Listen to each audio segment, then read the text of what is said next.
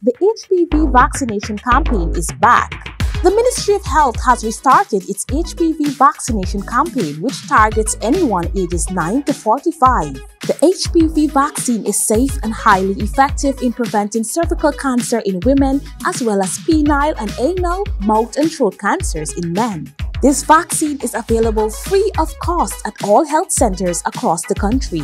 For children to be vaccinated, we will require you, the parents or guardians, to sign a consent form. The vaccination process is quick and easy, so why wait? Visit us and get vaccinated today. Protect today for a healthier tomorrow.